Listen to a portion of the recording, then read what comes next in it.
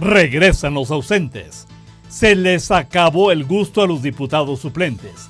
Apenas se estaban acomodando en su curul y agarrándole sabor al Congreso del Estado y hoy será la última sesión ordinaria en que participen.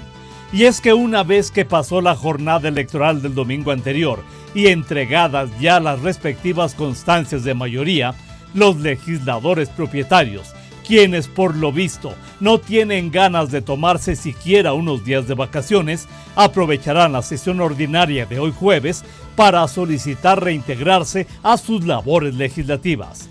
La reintegración será inmediata, con efectos para mañana viernes, en que habrán de retomar el trabajo pendiente e interponer alguna que otra iniciativa. Se tiene previsto incluso el regreso del diputado Quique Galo, quien antes de irse a la campaña se desempeñaba ya como subsecretario general de gobierno.